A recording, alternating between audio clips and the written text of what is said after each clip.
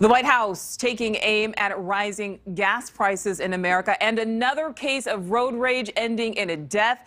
But we start with this wild video out of Oklahoma City. This is a man evading police on an ATV. And officers say they actually had him in custody before this all unfolded. News Nation's Jacqueline Chappell from our Oklahoma station KFOR explains what happened.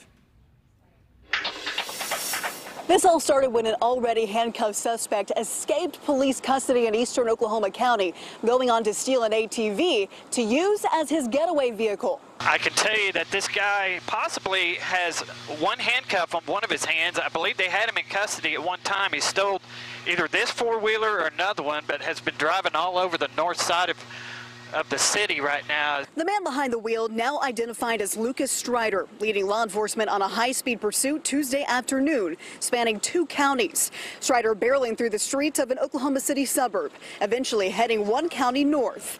The ATV reaching speeds over 70 miles per hour, with police using tactics to force him into the mud.